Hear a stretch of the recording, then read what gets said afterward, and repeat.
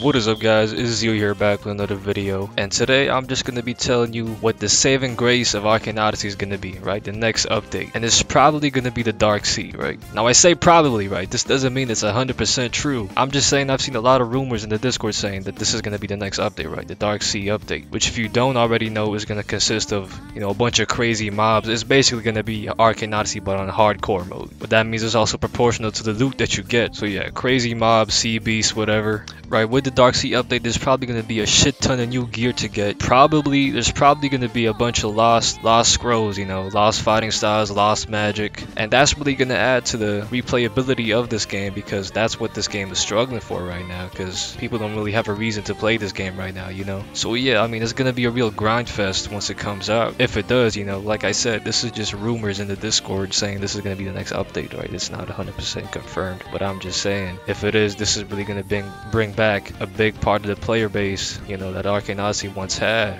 But yeah, yeah, I just wanted to make this quick little video to notify you that, you know, all hope isn't lost for this game, right? There are exciting things coming forward to this game, right? Don't lose all hope yet, right? This game is still in its early stages, right? I think this game is meant to have like around 10 seas or something. Like at that point, we're all going to be above level 1000, so you can just imagine the type of builds that people are going to be making at that point. So yeah, don't lose your hope for this game because it's, it's one of the best out there on the platform. But yeah, man, that's going to be it for this video. Make sure to like and subscribe. It helps me out a lot, you know. But yeah, catch you in the next one.